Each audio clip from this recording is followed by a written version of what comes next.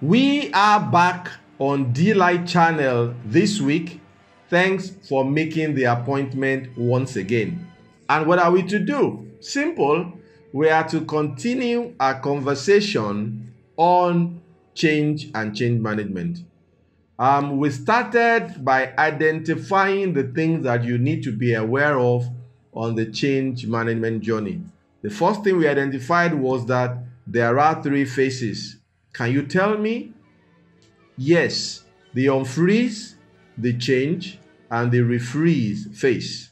And then we said we will go through a quick check on seven steps that happens in the change management journey Thereafter, try to arrange them under the three different phases and then tell you the things you need to know and that you could possibly do to ensure that each phase turns out the way you want it to turn out and then help you to the next level where we'll talk about the people and all the other things that will follow. And last week we took the first activity, which was, do you remember?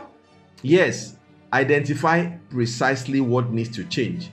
I invite you, encourage you to please go back and watch that particular video if you have not watched it because it is the first step. If you miss that step, you may be climbing up the wrong tree, you may be traveling down the wrong road.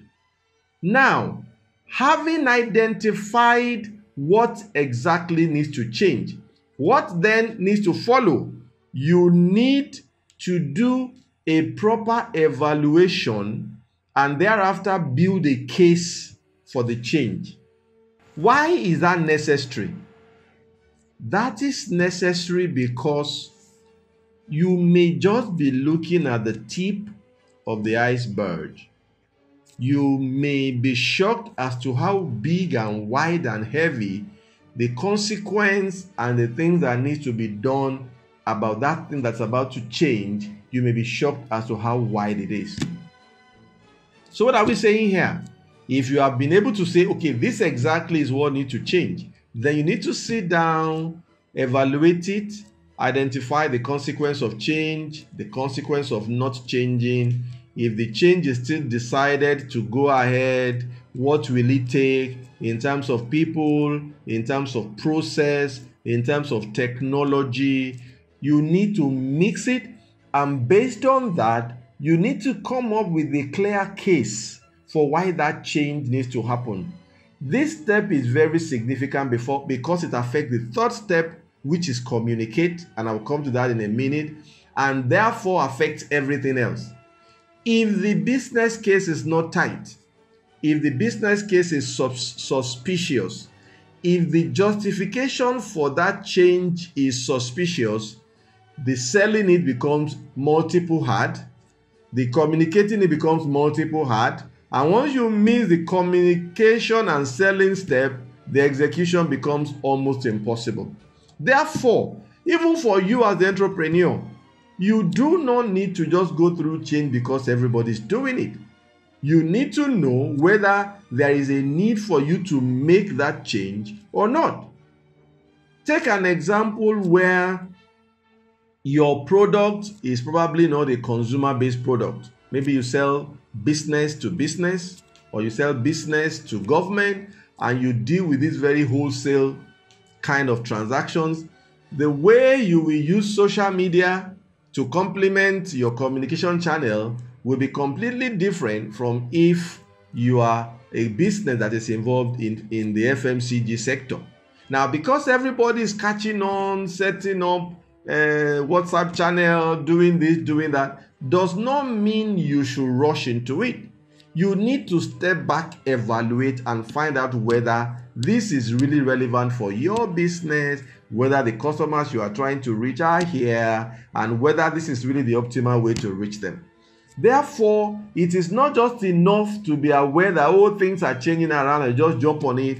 You need to do a proper evaluation See if you can justify, build a clear case for it, and then you are on your way to dealing with item number three, which now is communicate, communicate, communicate.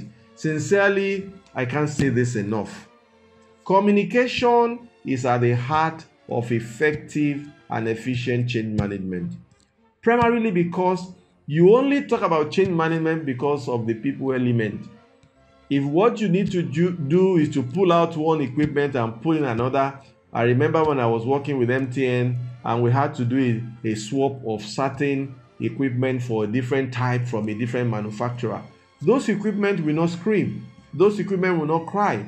They really don't bother which one you, you, you use. But once it happens to involve human beings, which almost always is the case, the conversation is completely different. And this is where communication is so critical. You need to be deliberate about what you say, how you say, when you say, who you say it to, and then how you are dealing with the feedback from this conversation. When it comes to change, you have to be honest, you have to be transparent. Why? Because if you are not, you alone cannot hide or hoard the relevant information. It will come out. Everybody will know because you alone do not control all the variables. And if you are not upfront with communication, once it looks like you are trying to hide something, the fear factor sets in, the panic factor sets in, the suspicion factor sets in, and people begin to worry what else are you not saying? So, as an entrepreneur, if something needs to change, you need to start a new shift. You need to bring in certain technology. You need to discontinue certain line of product. When you have built the case for it, you have to aggressively communicate to all your relevant stakeholders. They could be your financiers, they could be your employees, they could be your board, they could be the regulator, they could be the union. You are better off communicating. Now, don't be confused about the initial reaction, and we'll get to that in a bit. Be aware that everybody goes through a loss cycle. Again, I will deal with that down the line. But you are better off confronting it with open communication rather than trying to be selective and not being upfront because it heightens suspicion and then people become apprehensive and go into the panic mode. So you communicate, you communicate, you communicate. But when you are communicating, you need to be aware that in that audience that you are speaking to, there are four different types of people, people in inverted commas now.